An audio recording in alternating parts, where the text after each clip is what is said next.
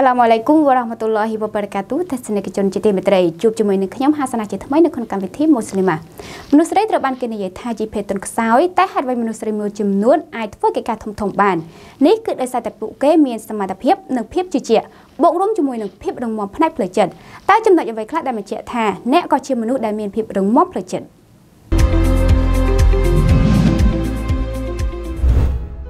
ពិភពលោករបស់យើងគឺមានមនុស្សជាច្រើនលានអ្នកកំពុងតែរស់នៅ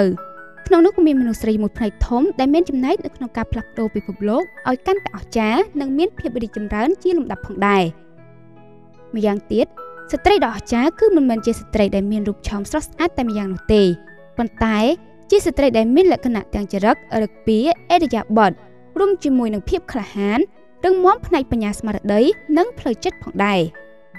ថ្ងៃនេះ នាងខ្ញុំនឹងនាំបងប្អូនស្ត្រីទាំងអស់គ្នាទៅដឹងអំពីលក្ខណៈសម្បត្តិទាំង5យ៉ាងដែលបង្ហាញថាបងប្អូនស្ត្រីទាំងអស់គ្នាពិតជាមានភាពរឹងមាំផ្នែកផ្លូវចិត្ត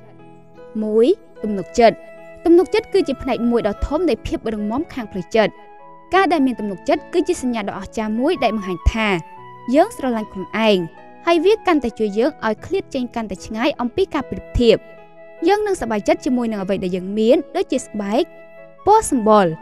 ពេលនោះ វានឹងធ្វើឲ្យយើងមានសេចក្តីសុខនៅក្នុងចិត្តយ៉ាងពេញលេញការដែលយើងមានទំនុកចិត្តគឺជាការលួងលោមខ្លួនឯងយ៉ាងអស្ចារ្យហើយនៅពេលដែលយើងធ្វើដំណើរទៅណាមកណាយើងក៏អាចចែករំលែកភាពមានទំនុកចិត្តរបស់យើងទៅកាន់អ្នកដទៃបានទាំងនេះគឺបង្ហាញថា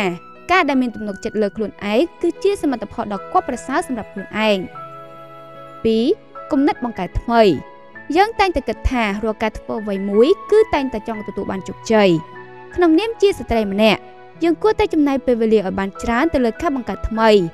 អ្វីដែលមានប្រយោជន៍ហើយអាចធ្វើឲ្យខ្លួនឯងសប្បាយចិត្តស្ត្រីដែលមានគំនិតវៃឆ្លាតត្រូវតែចេះផ្ដោតសំណួរដល់ខ្លួនឯងថាតើថ្ងៃនេះខ្ញុំសមនឹងទទួលបានអ្វីនេះគឺជាវិធីគិតដ៏ល្អមួយប៉ុន្តែក៏ត្រូវគិតឲ្យបានសមស្របជាមួយនឹងអ្វីដែលយើងបានធ្វើ3សុទ្ធិធិនិយមនិងវិជ្ជមានស្ត្រីដែលមានកម្លាំងចិត្តគឺជាស្ត្រីដែលយល់ឃើញថាគ្រប់យ៉ាង មិនមែនសុទ្ធតែអាក្រក់នោះទេគ្រប់បញ្ហាទាំងអស់សុទ្ធតែមានដំណោះស្រាយនៅពេលដែលយើងគិតបែបនេះទោះបីជាមានបញ្ហាណាមួយដែលពិបាកដោះស្រាយយ៉ាងណាក៏ដោយក៏គង់តែយើងអាចស្វែងរកដំណោះស្រាយដ៏សមរម្យនាវេលាណាមួយមិនត្រូវធ្វើឲ្យខ្លួនឯងមានភាពស្មុគស្មាញគិតអ្វីមិនចេញនោះឡើយ4ការយកឈ្នះភាពភ័យខ្លាច